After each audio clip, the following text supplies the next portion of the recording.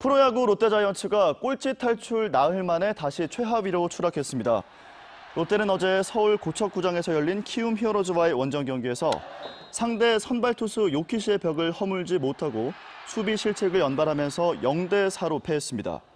롯데는 최근 10경기 가운데 2승 1무 7패를 기록하는 등 무기력한 모습을 보이고 있으며 지난 25일 9위로 올라선 지 4일 만에 다시 꼴찌로 내려갔습니다.